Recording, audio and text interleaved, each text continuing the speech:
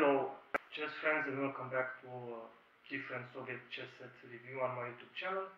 This time I will make a short review on uh, not one but two Latvian Mordovian chess sets.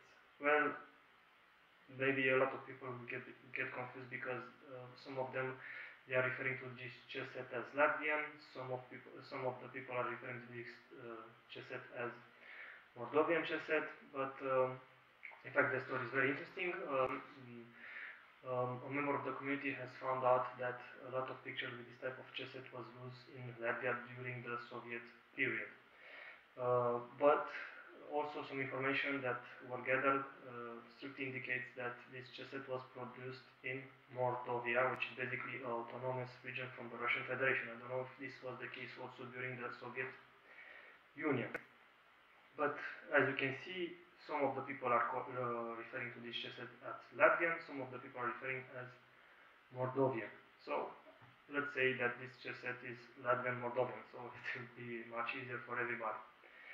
Um, basically, the pattern has appeared first in the 1930s, if I am not mistaken, and a lot of infos regarding this or different uh, Soviet chess sets you can find on Chuck Grau uh, website, which is called the Soviet chesssets.com. So I, if you love Soviet chess you must visit that website. It's like a, a dex of Soviet chess I was very fortunate that in the last year I was I was able to buy two Latvian Mordovian chess sets that I added to my collection. This is the first one that I was able to buy from Bucharest, uh, the capital of Romania, for about 10 US dollars. Yes, you heard it right.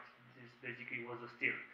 Uh, and this is basically the box, the folder board of the chess set, which as you can see it looks very damaged, but the inside of the box it looks quite okay, and you can see here the stamp which is dated from 1964, 1954, sorry.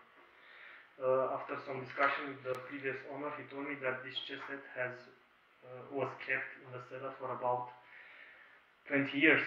So that strictly indicates why the folder motherboard is in such a bad shape. But the set looks almost impeccable and the pieces were very well protected inside the folder motherboard. Even though you can see I have two pieces, one white and one black pawn. The white pawn, let's say it's a red Stalin color, which have the color broken or let's say damaged. But except that, the chess set is in a very nice and impeccable condition. Uh, I can say for sure that this is one of my favorite Soviet chesses that I have in my collection and this is because of the quality, it's quite impressive. Uh, the quality doesn't compare with other Soviet chesses, at least the one that I own. Um, because the differences in carving between the chess pieces are very few. You cannot spot any differences. I have mentioned before uh, like I said uh, in the previous video regarding the Voronezh pattern, that most of the Soviet chess sets uh, are, suffering during years and the base of the chess pieces is starting to get over. Well, this is not the case. I have two sets of the Latvian Mordovian and both of them are impeccable.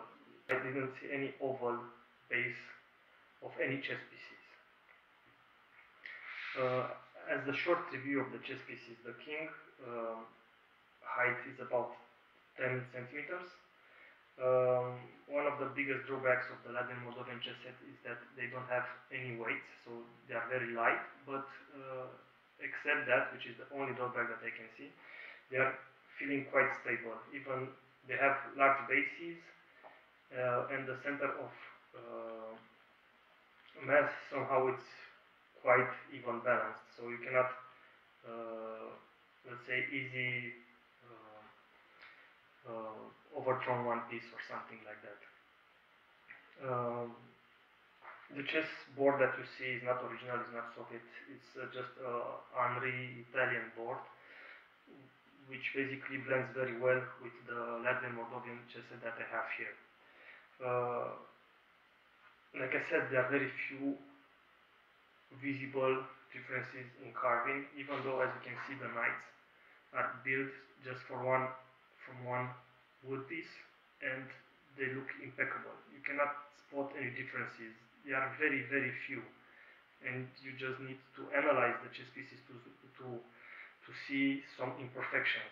And well, this is not the case for most of the Soviet chess sets. If you have a Baku chess set, if you have um, Grandmaster chess set, if you have a Botvinnik Flower uh, chess set, you can spot very easy some differences in carving, especially at the nuts.